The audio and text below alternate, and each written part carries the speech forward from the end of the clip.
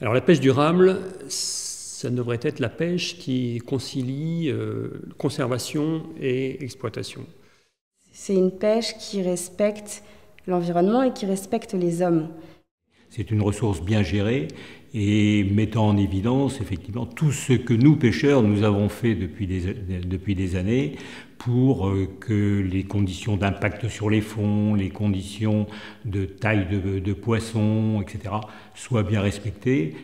C'est une pêche en fait qui est bien gérée euh, sur des stocks abondants et surtout qui préserve l'écosystème dans lequel euh, dans lequel elle opère et tout ça en fait pour pouvoir pérenniser euh, le métier et l'activité des pêcheurs.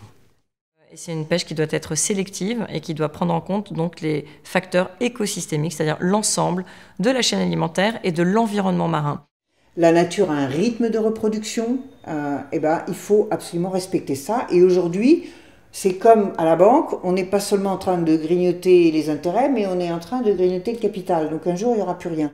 Respecter la capacité du vivant à refournir à la ressource chaque année suffisamment de bébés qui deviennent adultes pour continuer à exploiter, sans surexploiter. La pêche durable, tout simplement, c'est euh, euh, des poissons qu'on peut toujours retrouver dans l'assiette. Si on pêche tout, la mer va devenir un désert. Je pense que maintenant le pêcheur est devenu quelqu'un de responsable euh, et, en partant de là, en devenant responsable, ben, on ira certainement ou on continuera à aller vers une pêche durable.